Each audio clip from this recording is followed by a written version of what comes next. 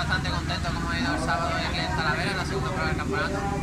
Me encuentro muy a gusto con la moto, con el circuito, es, bastante rápido, no, es que sea lo, preferido para mí, pero voy bastante a gusto.